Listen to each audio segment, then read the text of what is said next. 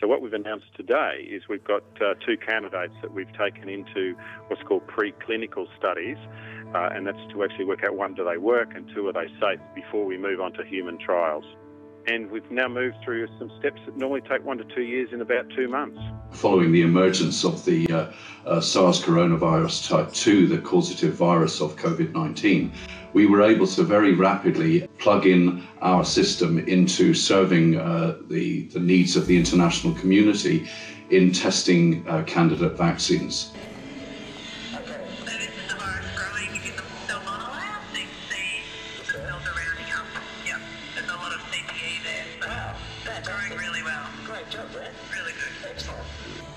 CEPI, the uh, Coalition of Epidemic Preparedness Innovation, which is uh, set up by Gates Foundation, Wellcome Trust, and World Economic Forum, started about four years ago, and we've been working with them on developing a platform to respond to disease X.